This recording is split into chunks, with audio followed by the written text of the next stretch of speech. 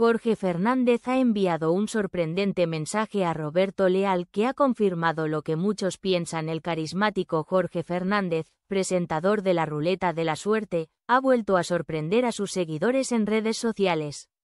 En esta ocasión lo ha hecho con un sorprendente mensaje que ha dejado entrever la gran relación que mantiene con su gran compañero Roberto Leal, presentador de Pasapalabra. Jorge Fernández ha enviado un mensaje a Roberto Leal que ha confirmado lo que muchos piensan, son grandes amigos.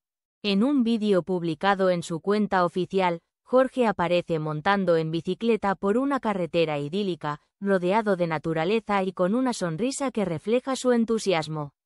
Acompañando el vídeo, escribió, hacía mucho que tenía ganas de retomar las rutas en bicicleta de carretera. Sabéis que la seguridad es lo más importante, casco. El mensaje no pasó desapercibido entre sus seguidores, quienes rápidamente reaccionaron con aplausos virtuales y palabras de apoyo.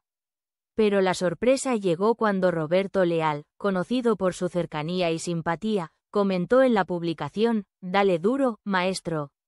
Tanto Edgar como tú vais bien equipados, el mensaje de Jorge Fernández a Roberto Leal que confirma lo que muchos piensan.